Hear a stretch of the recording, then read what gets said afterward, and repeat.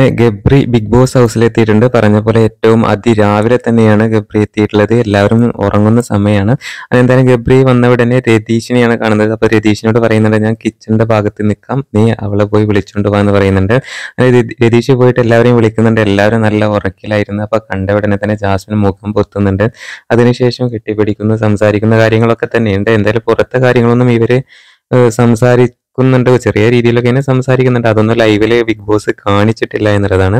പിന്നെ ജാസ്മിൻ പറയുന്നുണ്ട് അച്ഛൻ വന്നിരുന്നു മാല ഊരി വാങ്ങിച്ചു ഫോട്ടോ കീറി കളഞ്ഞു. ഈ കാര്യങ്ങളൊക്കെ ഗബ്രിയോട് റൂമിൽ ഇരുന്നിട്ട് ജാസ്മിൻ സംസാരിക്കുന്നുണ്ട്. പിന്നെ ജാസ്മിൻ പറയുന്നുണ്ട് നിന്റെ ചിരി എനിക്ക് മിസ്സാകുന്നുണ്ട് എന്നൊക്കെ പറഞ്ഞുകൊണ്ട് ഇങ്ങനെ ഇരിക്കുന്നുണ്ട്. അപ്പൊ എന്തായാലും ഗബ്രി എല്ലാത്തിനും ഒരു മറുപടി പറയുന്നുണ്ട്.